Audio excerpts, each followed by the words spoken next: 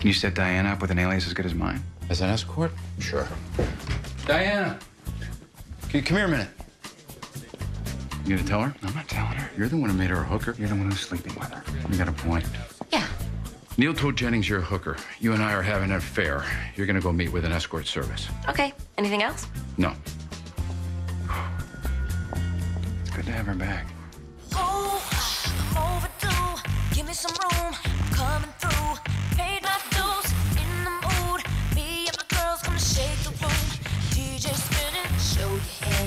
Let's get dirty.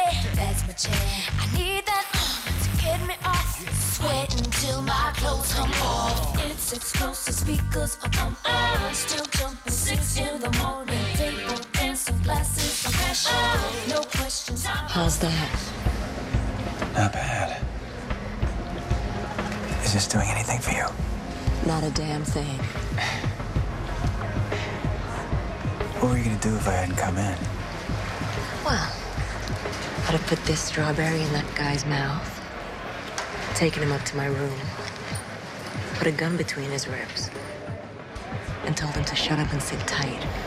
I'd arrest him for solicitation. That is really sexy. Yeah.